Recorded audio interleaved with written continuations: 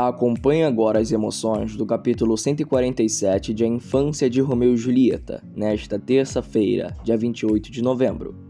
No SEC, todos do lado torre perguntam se Romeu vai ao acampamento. Romeu diz que depois de muita insistência a sua mãe, ela autorizou ele ir. Lá do Vila comemoram a ida de Lívia ao acampamento. Todos perguntam como ela conseguiu dinheiro tão rápido. Lívia diz que uma pessoa misteriosa pagou a sua viagem. Na rua, trapassa a conversa com Ian e pergunta quem era o cara estranho que estava com ele. Ian fica impressionado e pergunta como ela conseguiu ver o seu amigo imaginário. Trapassa aponta e diz que ele está ficando louco. Trapassa diz que quer ver o leão novamente. No SEC, Daniel dá dicas de como sobreviver na mata. Theo pergunta ao treinador se lá do Torre e lá do Vila ficarão na mesma barraca. Daniel diz que ainda não definiu nada, porém isso seria possível. Lá do Torre e lá do Vila ficam insatisfeitos. No Monte Mercado, Glaucio anuncia a Vitor que conseguiu um aumento em seu salário.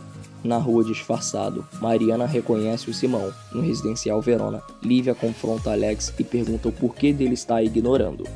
Na rua, Mariana confronta Simão e pergunta o porquê ele fugiu do bairro e roubou todo mundo. Simão revela que foi roubado e que perdeu tudo até seu celular.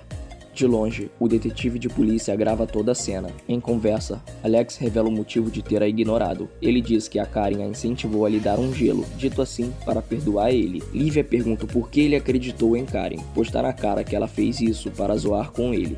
Alex toma prontidão, se aproxima e pede perdão a Lívia, que aceita.